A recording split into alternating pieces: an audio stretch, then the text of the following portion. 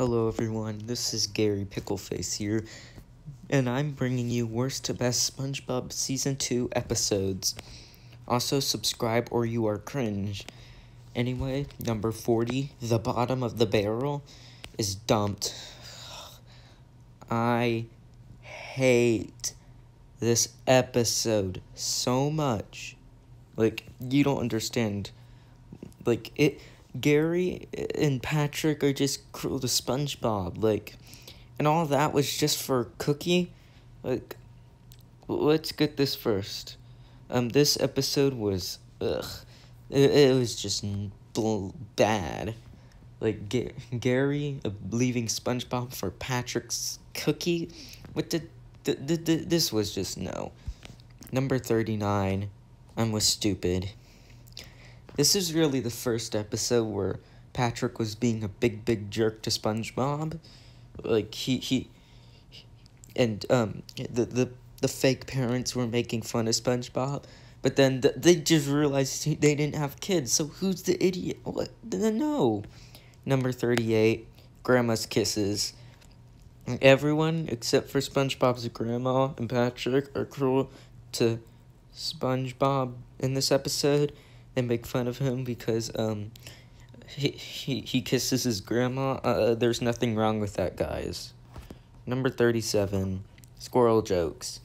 They're they're cruel to um Sandy in this episode like it's basically like grandma's kisses except for um sponge everyone's being a jerk to sandy but this one was a little bit more um entertaining than grandma's kisses number 36 bubble buddy honestly, this episode was just stupid. Like, I do not like the concept. It, it was just bland and boring. Number 35, Bossy Boots. Yeah, I mean, this episode's alright. It's just that, like, eh. Like, eh, I just don't like it. It's pretty hard to explain why basically Pearl um runs the restaurant and I don't like how um SpongeBob was treated, but other than that it's fine. Number 34, pre-hibernation week. This is basically Sandy torturing SpongeBob and the townspeople for a time for the entire episode, except for it was a little funny. Um, yeah, that, that was the point of the episode. Number 33, Survival of the Idiots. This is, um, ugh, this is a very unpopular opinion of mine. I don't like survival. Well, I do kind of like it. It's just not as good as the other ones. Like, it's kind of like pre-hibernation week, except for a lot more humor in it. That's basically all it is. Number 32, pressure. I don't like how Squidward, SpongeBob, Mr. Krabs, and Patrick were treating Sandy. Um, that's about it. Yeah. Number 31, jellyfish hunter. Mr. Krabs was being cruel to the jellyfish, but I do like the ending like a lot where SpongeBob and the blue jellyfish become friends. Um, number 30, Krusty Love.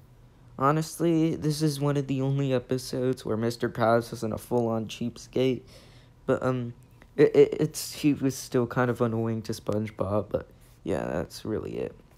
Number 29, Artist Unknown. I put it this low because, um, eh, that just wasn't my type of episode.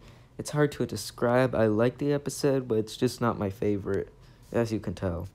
Number 28, Patty Hype. Like, this episode's good. Like, I like the concept, and it's pretty creative and funny, but, like, at some points, it was just really bland, and I didn't like, like, it was just meh at some points. Number 27, no free rides. I, I don't think this episode is feels like a season 2 episode. I do like this episode though. It's I like the humor. That's basically all it is, but like other than that, it's a meh. Number 26, I'm your biggest fanatic. Um Ke Kevin was not nice to SpongeBob. Uh uh yeah, basically um SpongeBob uh he he Kevin was being cruel to SpongeBob. That's all it was. Number 25, Squid's Day Off. This episode is good. But here's the problem. Um, I kind of don't like some of the points where Squidward gets like really like, you know, crazy. That I just didn't. I felt bad for Squidward at those points. Number twenty four, Life of Crime. This one was just funny. Like the chocolate gag was pretty good. All around, this was just a good episode. Um, yeah. Number twenty three, Dying for Pie. Uh, the reason why it's up here is because Squidward was actually being nice. Because usually when he knew SpongeBob was gonna die, he he would pro in the, like the newer seasons he would probably be like celebrating. But here, he was just being nice to SpongeBob. Um, he actually cared for SpongeBob. So yeah, number twenty one, Imitation Krabs. This one, I mean, it was good. Okay, I like this episode a lot. I like how um um like Squidward got the day off and um um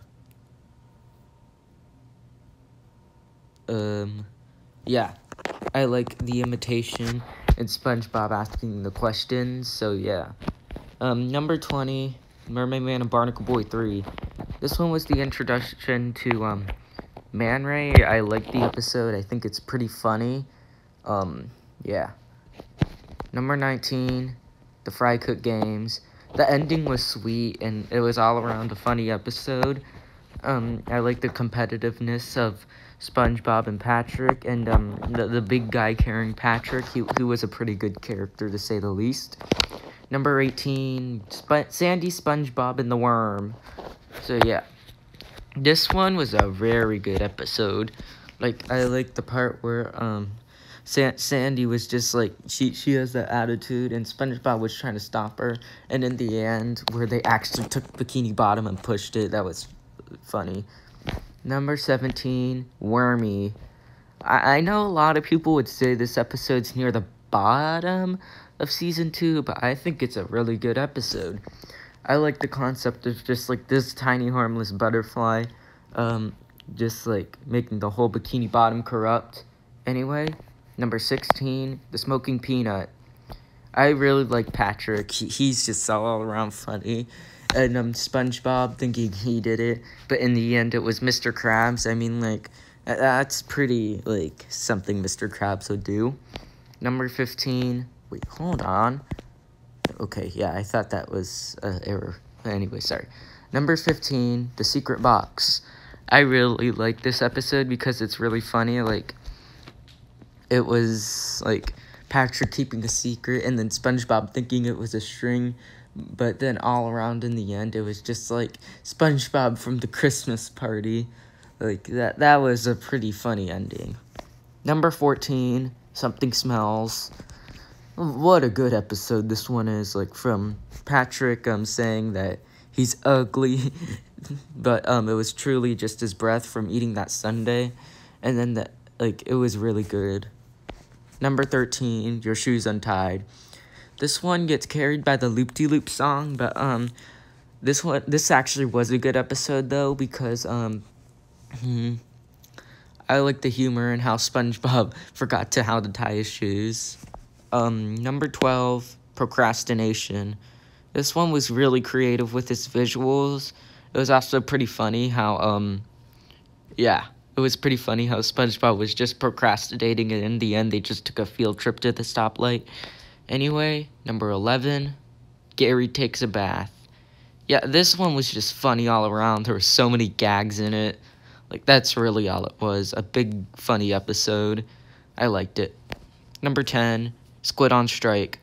What a good episode this one was from Squidward, like, striking with SpongeBob because Mr. Krabs isn't, like, respecting them as much.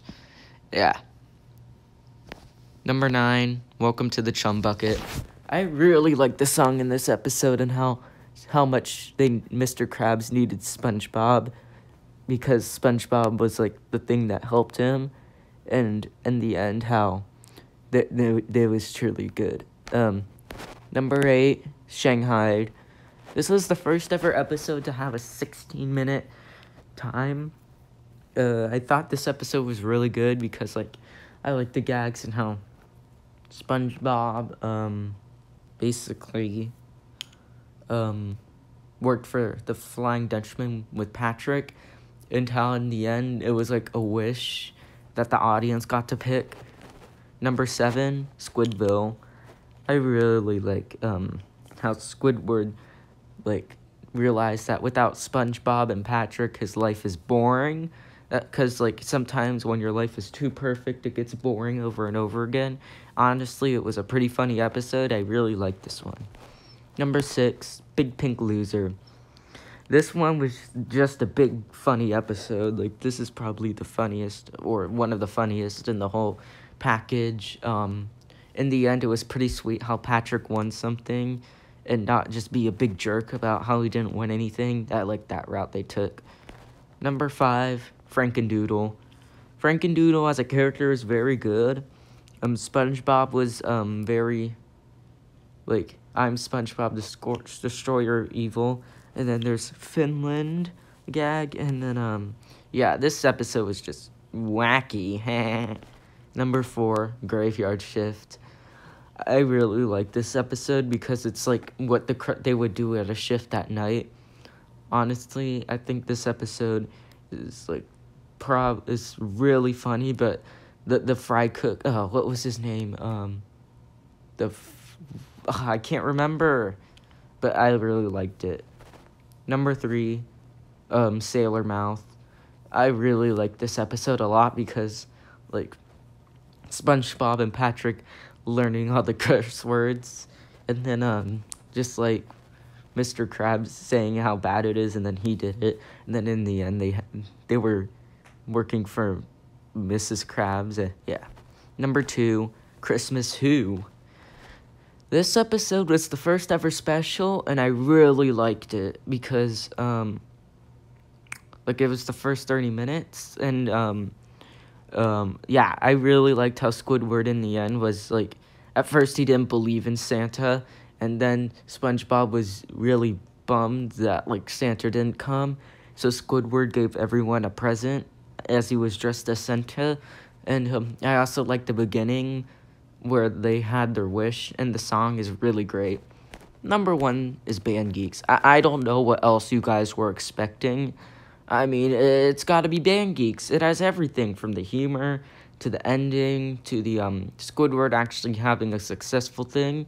Like this was the episode. I really like the gags in this one, like the mayonnaise is an instrument, and Sweet Victory is one of the best songs ever. So anyway, yep, I hope you enjoyed this video, guys. Um, see you later. Bye.